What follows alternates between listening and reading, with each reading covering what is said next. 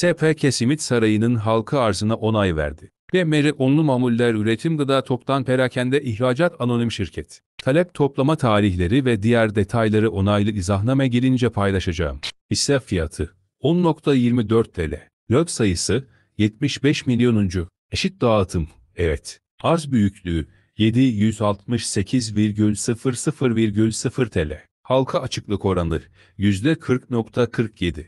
Dağıtılacak LÖTSE AYS'yi 1 milyon kişi KAT ile IRS A75 ADİT 2 milyon kişi KAT ile IRS 38 ADİT 2 milyon 500 bin kişi KAT ile IRS 30 ADİT 3 milyon kişi KAT ile IRS A25 ADİT lot düşecektir.